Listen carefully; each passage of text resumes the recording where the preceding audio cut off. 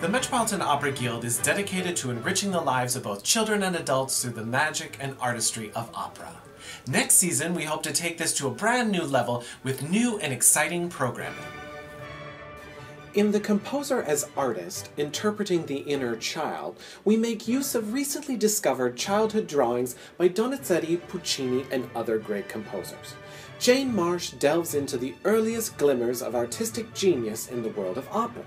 For example, in a delicately rendered stick figure riding atop a decidedly two-dimensional boat, we see the prototype of the opera The Flying Dutchman as it emerged from the young mind of a young Wagner.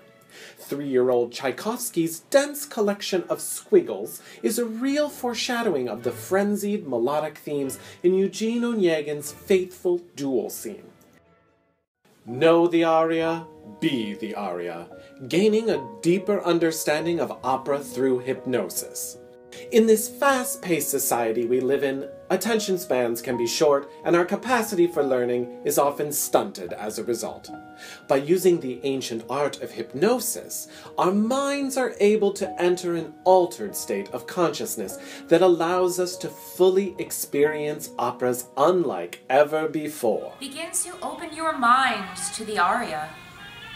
You hear and understand the aria deeply. Time is nothing. The aria is everything.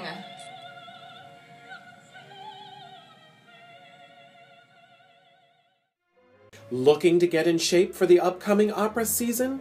Look no further than this year's Opera Boot Camp, which will have you sweating like a tenor in a Tudor period tragedy.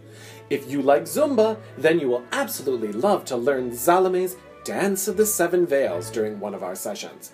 Go from Falstaff to Don Giovanni in just a few weeks by planking to Puccini and bench pressing to Bellini. Guaranteed results in time for the Metropolitan Opera's opening night red carpet. Opera in the Field Animals and Music. In this exciting new series, the Guild's Naomi Baratera and staff from the Bronx Zoo will host three animal excursions that will take opera lovers out of the opera house and into the wild. The first outing will take us to the Bronx Zoo Birdhouse, where we will discuss Mozart's use of birdsong in the Magic Flute. These events are sure to be thrilling and enlightening. Don't miss out!